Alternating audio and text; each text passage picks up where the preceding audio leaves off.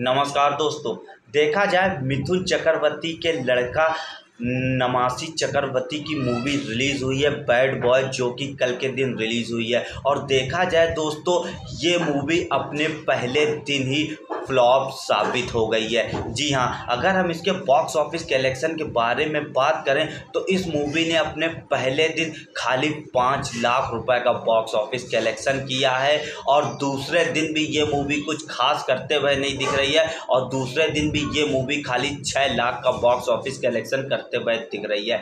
इसका रीज़न ये है कि इसकी स्टोरी इसकी स्टोरी में आप कुछ भी नया नहीं पाएँगे। जब आप इस मूवी को देखेंगे तो ये लगेगा कि ऐसी स्टोरी आप देख चुके हैं, क्योंकि इसकी स्टोरी ऐसी है। इसमें जो नमासी चक्रवर्ती हैं, वो एक बैड बॉय लड़के का रोल निभा रहे हैं, जो कि बहुत ही ख़राब लड़का है, जो कॉलोनी में बदनाम है, सारा दिन उल्टी सीधी हरकतें करता है, और उसका एक लड़की से प्यार हो जाता है, लेकिन उसके घर वाले शादी नहीं करना चाहते, क्योंकि नमासी चक्रवर्ती जो हैं, उनकी इमेज बहुत ज़्यादा ख़राब है दोस्तों।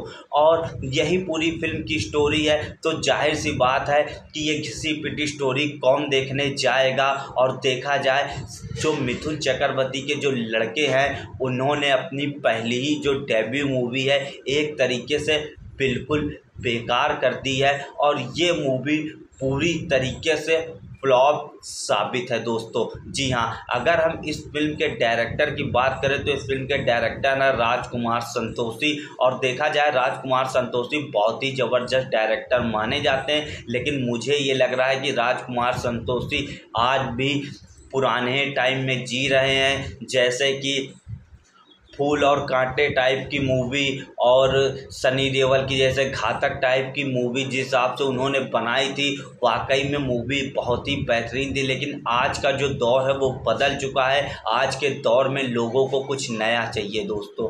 तो दोस्तों, आप बताइए, आपने मूवी देखी है कि नहीं? नहीं देखी है तो मत देखने चाहिए बेकार है और जिन्होंने देख रखी है, वो मुझे कमेंट में बता सकते हैं कि उनको ये मूवी कैसी लगी। मिलते हैं हम अगली वीडियो में। तब तक के लिए नमस्कार बाय बाय